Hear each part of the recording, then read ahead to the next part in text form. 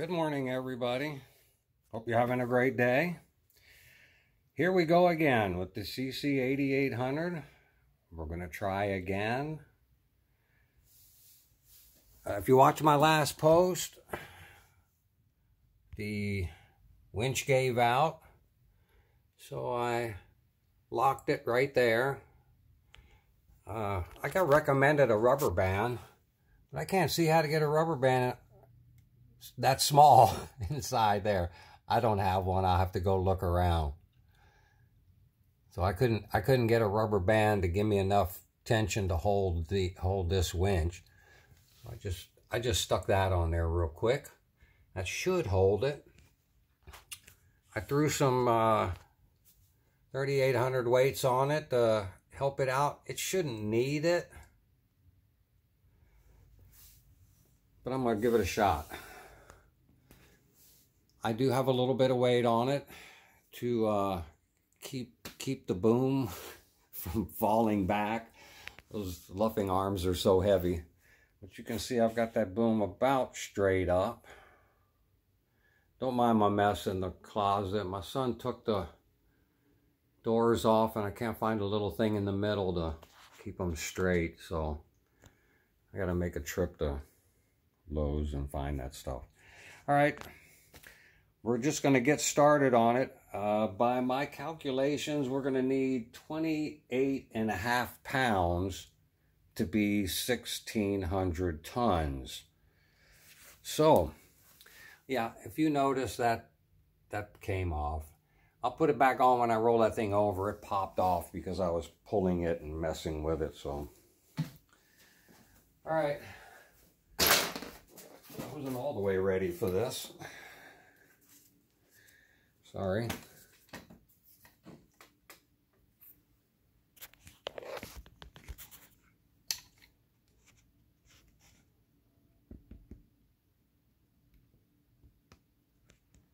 Get that all the way up there the best I can. All right.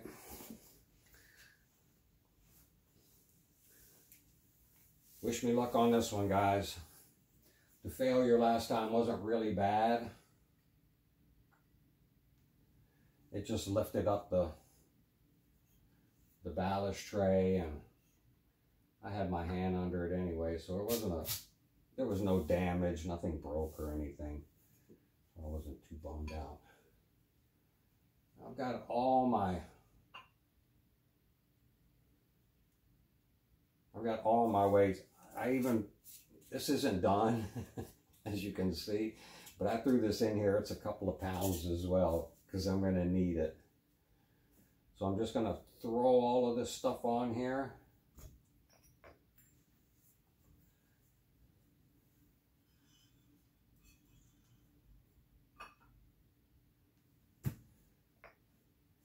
And see how it goes.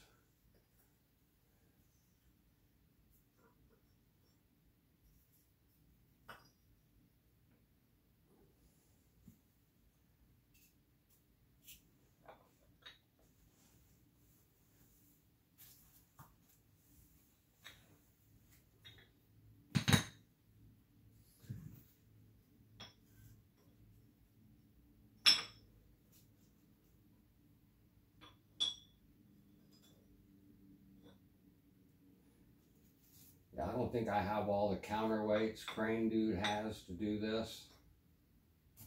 I don't have all the models he has. he's got he's got he's got a sixteen hundred tons of cranes over there. I don't I don't have quite that many.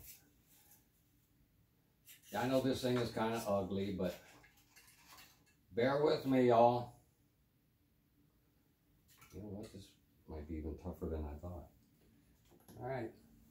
This is going to be 28 and a half pounds.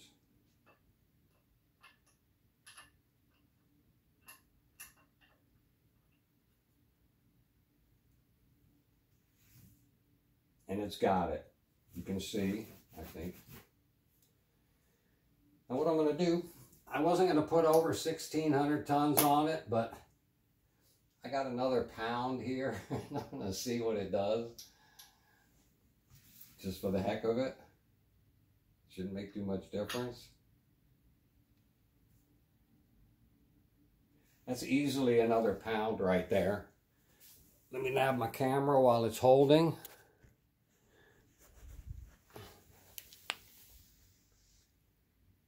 Off the ground. Not off the ground. And although it's trying to pull it, you can see the loose wire right there. It's trying to pull on it, but I got it. All right, y'all. I know it looks a little gaudy, but there it's holding well over, well over 1,600 tons.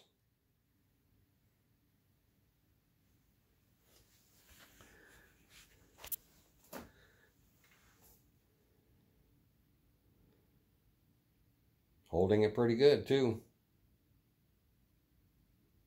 I'll, uh, I'll put it all in the description. The, the 28 and a half pounds that we put on it is 1,600 tons. so it's, it's holding up its, its capacity. Holding it up really, really well, too. All right, y'all. that wasn't so bad. I was a little worried.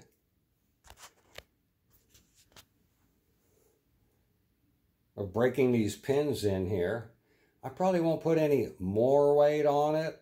I mean, I'll try to overload it till it tilts, but I'll I'll do that with metal stuff. I'm gonna get that YCC stuff when it maybe when they get them back in stock, and we'll give it another shot. In the meantime, there she sits with her 1,600 tons on it, holding it real well. All right, guys, thanks for watching. Hope you enjoy.